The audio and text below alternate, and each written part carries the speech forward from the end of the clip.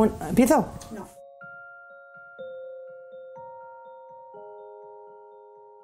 El centro de documentación en el que nos encontramos ahora, que, es, que pertenece a la Fundación IPES, eh, nace en 1985, pero ya en 1976 eh, había nacido IPES. Entonces voy a explicar lo que es IPES. Las siglas IPES son Instituto de Promoción de Estudios Sociales. Daros cuenta que nace en el año 76, o sea, recién muerto Franco, todavía sin legalizar los partidos políticos. Eh, en una Navarra donde no existía más que la Universidad del Opus Dei, donde la vida cultural era un, auténtico desierto, eh, pues un grupo de profesionales eh, de las ciencias sociales, de la economía, las ciencias políticas, la sociología, la historia, quieren pararse a reflexionar y aportar eh, sobre otra, otro pensamiento de estas ciencias, pero desde el punto de vista crítico. Eh, así pues, eh, la Fundación IPES es una fundación mixta, alternativa y crítica, que va a ofrecer unos cursos y una serie de, de actividades que, bueno, pues que deconstruyan digamos, el pensamiento único que venía prácticamente de la falange. ¿no? Entonces, desde el principio, este, esta, esta fundación eh, va a tener eh, un grupo muy fuerte de mujeres que van a estar en todas estas especialidades, pero que también van a estar en el feminismo. Van a estar en, la calle, van a estar en el activismo y, también en la reflexión. Ya en el año 1982, eh, bueno, habíamos ya desarrollado una serie de seminarios y de conferencias que llamábamos aportaciones de mujeres a su propia historia y que tenían como finalidad traer a Pamplona los debates que existían en el feminismo a nivel eh, estatal e internacional. Aquí estuvo, por ejemplo, Gretel, Gretel Hamann y, eh, Olivia Falcón y bueno, una serie de, feministas importantes de diferentes corrientes. Entonces, bueno, nuestra idea era que aquellas eh, eh, conferencias que se hacían de gran interés y que nos costaba mucho trabajo traerlas de diferentes pensadoras, se publicasen. Entonces se creó una revista que se llamaba Langayak, que quiere decir en castellano papeles de trabajo, y que mucha gente nos conoce a nivel estatal por esas revistas. Entonces, me parece interesante eh, Yo ahí es donde empecé a trabajar en IPES, ¿eh? en 1982, con esta revista. Fundamentalmente en el terreno del feminismo lo que hacíamos era organizar conferencias, eh, seminarios, talleres, y claro, también como consecuencia de eso teníamos una serie de materiales que íbamos acumulando de, nuestros propios eh, cursos, eh, daros cuenta que también en aquel momento ya era la explosión del movimiento ecologista, pacifista, internacionalista, de la pedagogía alternativa, de la contrapsicología, tradicional. Y entonces en todos estos eh, saberes había una, aparecía ya la perspectiva de género, había mujeres que ya estaban aportando desde la ideología feminista. También los estados, daros, el año 75 fue el año internacional de las mujeres, ya se, eh, bueno, pues se daban pautas a los estados y a los gobiernos, desagregaban por sexos las estadísticas y nos, nos llegaba nuestra a nuestro centro pues en documentación interesante, incluso o sea, institucional.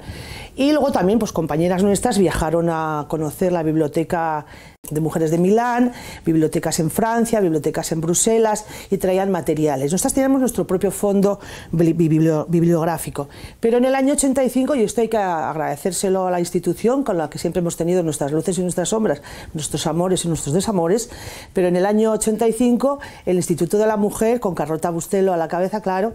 eh, nos donó una 400 libros y nos animó a crear un centro de documentación de mujeres y especializado en género y feminismos. Y ahí empezamos, nosotras muy bien sin saber lo que estábamos haciendo, o sea, sabiendo que estábamos haciendo algo estupendo, que era crear un centro de computación de mujeres con vocación pública y con, ah, y con idea de que esté, estuviese abierto para el préstamo y para ayudar a todas aquellas personas que quisiesen formarse, investigar, dar una clase, cualquier cosa, eh, encontrar aquí materiales de, de interés. Como yo siempre digo, y con la perspectiva ahora de tantos años después, no éramos conscientes de que formábamos parte de una realidad y de un movimiento, recuerdo la palabra movimiento bibliotecario que salió en unos encuentros y nos daba mucha risa, pero no es bastante real, de esa, bueno, pues de esa de esa pasión por, por, el acumular y por poner a disposición del público esa función social que queríamos hacer, se estaba haciendo a la vez en todo el Estado español, en Europa y en el mundo, ¿no? que formamos parte de todo ese, de todo ese movimiento no teníamos experiencia en este tema porque no teníamos referentes y además ninguna era bibliotecóloga, no, nadie había estudiado biblioteconomía, no sabíamos hacer una ficha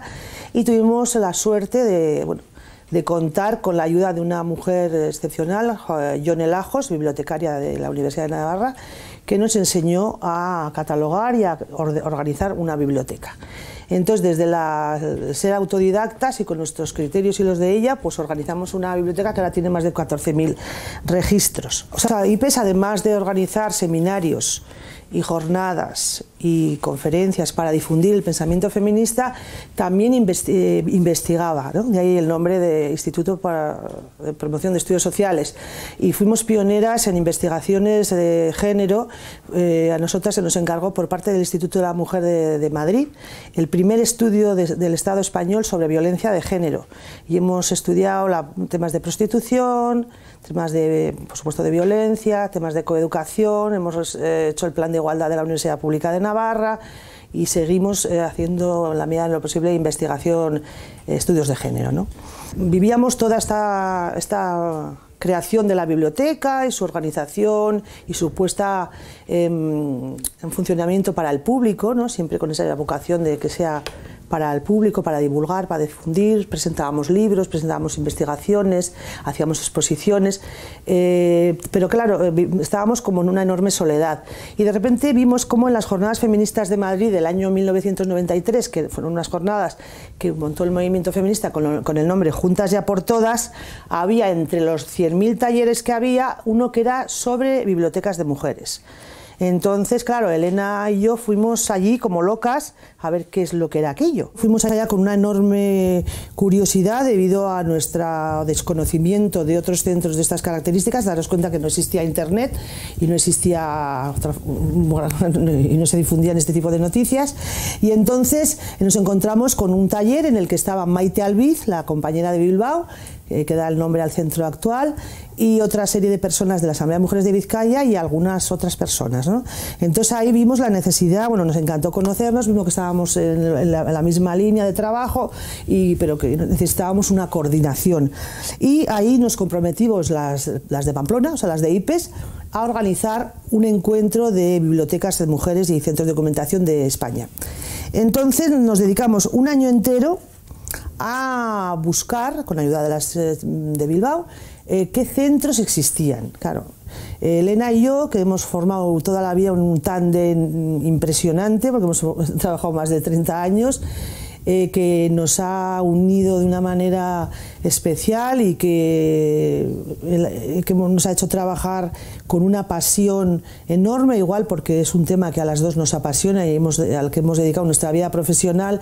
además en unas circunstancias muchas veces muy negativas, no es lo mismo yo creo trabajar, ser funcionaria y tener el sueldo seguro al final de mes, o saber que eso va, aunque en precario, pero existe, a pensar que muchas veces esto se cierra, esto se cierra. Bueno, pues hemos... Eh, yo creo que eso nos ha dado una energía y una, un amor a, nuestra, a nuestro bombón, que como decimos que es esta biblioteca, muy grande. ¿no? Después de ese año de trabajo y de búsqueda de centros especializados que tuviesen fondos organizados y con vocación de vocación bueno, o práctica de préstamo y de, de, servicio público y entonces organizamos en Pamplona sin ningún apoyo institucional porque así como ahora los encuentros anuales se celebran en cada comunidad autónoma con apoyo importante de las instituciones locales pues en aquel momento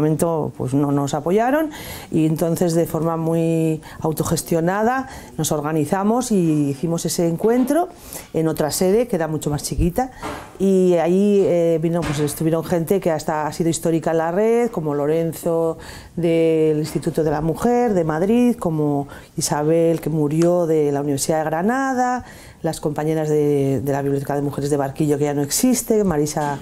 y Lola, también estuvo Maite Albiz y bueno, pues eh, ahí, vimos la importancia de seguir eh, coordinando, buscando centros de estas características y crear una red, una red que nos diese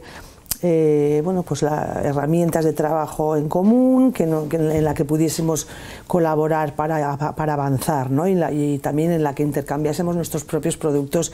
editoriales. A raíz de ese contacto de, en las jornadas feministas de Madrid, nos comprometimos las mujeres de IPES a, bueno, pues a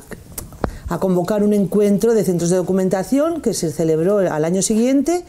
eh, y ahí eh, estuvo gente que ha sido histórica porque ha durado muchísimos años en sus centros de documentación y en la red, como son Lorenzo Villanueva del Instituto de la Mujer de Madrid, Elisa Sánchez de, la Generalidad de, Generalitat de Valencia, las mujeres del Centro de Documentación de Bilbao, Maite Albiz,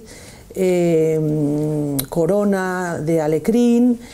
y bueno, no se me olvidará seguro alguna, pero bueno, pues, mujeres que han estado luego mucho tiempo en esta, en este, en esta red, ¿no? Y ya, ah, bueno, también están Marisa Avilla y Lola Robles, que fueron las que al año siguiente, en el 94, ya en Madrid eh, convocaron el encuentro, porque cada año se encarga una, un centro, y en ese encuentro de Madrid se fundó de forma más eh, oficial la red. El año de preparación entre las jornadas feministas de Madrid, y que fueron en el 93 y el 94, en el que hicimos el encuentro en Pamplona, eh,